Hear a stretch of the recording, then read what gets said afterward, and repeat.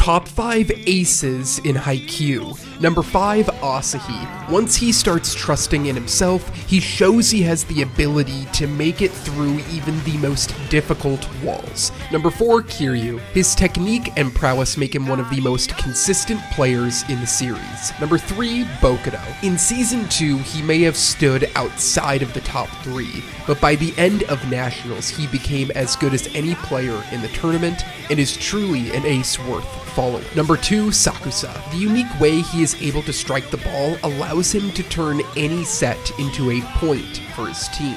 Number 1, Ushijima. There was no weak spot in his game, and even though his coach relied upon him to an absurd degree, he still showed up. Those were the